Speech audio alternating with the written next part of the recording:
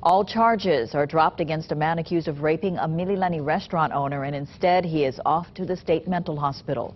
46-year-old Joseph Navas has just been released from the state hospital in May of 2010 when he allegedly beat and raped the owner of Sun's Barbecue. Navas has been found unfit for trial at least three times in the past. Most recently in December, the court ordered another panel to re-examine him, and today the findings were the same.